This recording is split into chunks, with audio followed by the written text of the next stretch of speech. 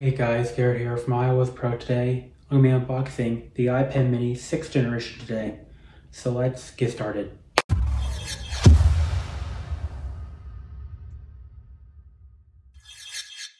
Guys, so I got the iPad mini 6th generation in the pink color, Wi-Fi only 64 gigabytes.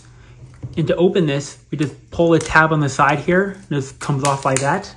Now I just take the shrink wrap off here. Now we can just lift up on the lid, and there's the iPad mini laying in the box right there, wrapped up in plastic.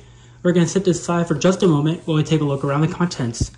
So we got the literature packet here, which contained everything from the iPad mini quick start guide, the regulatory, then the Apple stickers. I have a USB-C cable and a 20 watt power adapter. So now we just pull up on this tab and the iPad will just slide right out. And there it is. And wow, this looks really nice. The light shade of pink.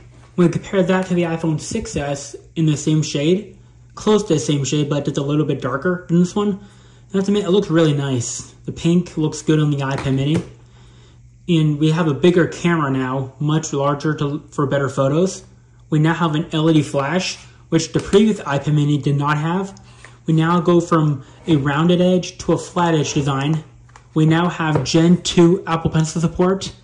We go from the Lightning to USB-C connector. We now have speakers on the top and the bottom. The volume controls have moved from the side to the top. That was to make room for the Apple Pencil here.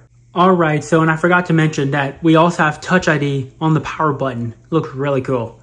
Now we just press and hold the power button to turn the iPad on. And there we go, and I come back when it's done booting up. So I'm back and I finished setting up my iPad mini 6. And what I can say is this device is great. Great for gaming, that's all I have to admit about it. Because I tried asphalt on the thing and it ran perfectly. Smooth, fast, no lag, no stutter, no rapid drain of power, no rapid overheating, just perfect. When I did it on the iPad mini 5, it did everything I just said did 6 did not do. So basically, overheating, rapid battery drain, all that. Now, I like how it supports Gen 2 and Gen 3 Apple Pencil. It really does. Really nice. And that's why they move the volume controls to the side here, or onto the top of the iPad, which is kind of awkward. I'm not used to it. I'm going to have to get used to it. Really interesting.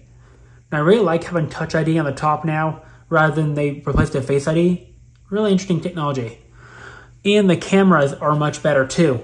Just lets more light in, the colors are better, everything like that. Plus the focal point. Same for the front facing camera. The focal point may be the same on the front facing camera, but the coloring, like how much color it receives in, how much lighting is much better, less glare and everything. A front facing camera test on the iPad mini 5. So as you guys see, it looks decent, but not great. A lot of noise in the background, especially on my light strip on the wall there. You guys see, looks distorted because the lighting oh, and the colors look kind of like not the great, but still okay. Surfacing camera test on the iPad mini 6th generation. As you guys can see, the colors look much better, more clear, less noise in the background, overall much better quality in colors. Like the light strip behind me, as you guys see, the light strip, there's much less distortion and all that. Easier to see each little light on the light strip, so overall, much better camera for the front facing altogether. Alright, so that is the iPad mini 6 unboxing today.